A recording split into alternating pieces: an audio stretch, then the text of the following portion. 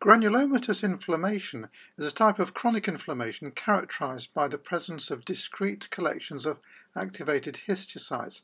Histiocytes are macrophages that have entered the tissues. This is the gross appearance of granulomas. This is an example of miliary TB affecting the lung. The granulomas are the creamy white nodules scattered throughout the lung parenchyma and this is the corresponding histology showing a well-formed granuloma. Granulomas are made up of a mixture of cells. There are activated histiocytes. These are known as epithelioid cells because of their resemblance to epithelial cells. Granulomas may contain multinucleate giant cells and there is usually a cuff of lymphocytes and occasionally plasma cells around the granulomas. This is a beautiful example of a single granuloma in the lung in the case of sarcoid. So here you can see the epithelioid cells, scattered multinucleate giant cells, and a thin cuff of lymphocytes around the granuloma. So the question is, why do granulomas develop? Well, there are two main reasons. One is that they form as a response to substances that cannot be adequately degraded by polymorphs and macrophages, and the other is due to an immune response.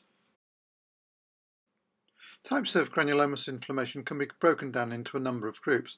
These include specific types of infection, reaction to foreign material, reaction to chemicals, drugs, and a major category is where the cause of the granulomatous inflammation is unknown.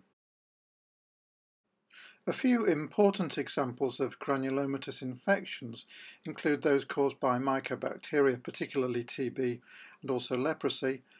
Fungal infections include cryptococcosis and histoplasmosis, and parasites causing granulomatous inflammation include schistosomiasis and ascariasis. This is an example of granulomatous inflammation in the bladder caused by schistosomiasis. Foreign body granulomas may be caused by foreign materials such as suture material, glass, vegetable matter, etc.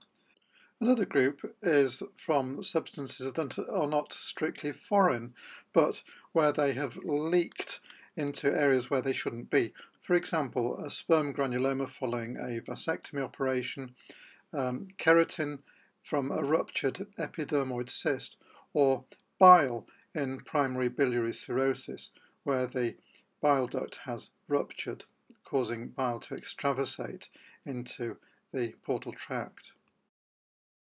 In this picture, the purple area that we are zooming into is extravasated sperm, resulting in a granulomatous response causing a sperm granuloma. There are, of course, numerous drugs that can cause a granulomatous reaction. These include sulfonamides, allopurinol, and phenylbutazone, to name just three. There are many chemicals associated with a granulomatous reaction, and one in particular is beryllium.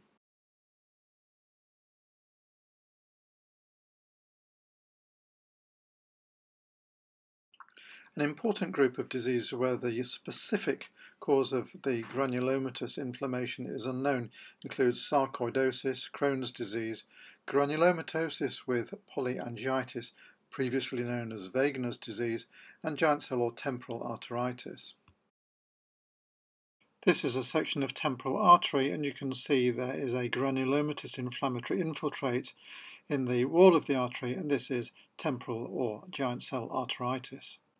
As the name suggests, it is characterized by copious numbers of giant cells.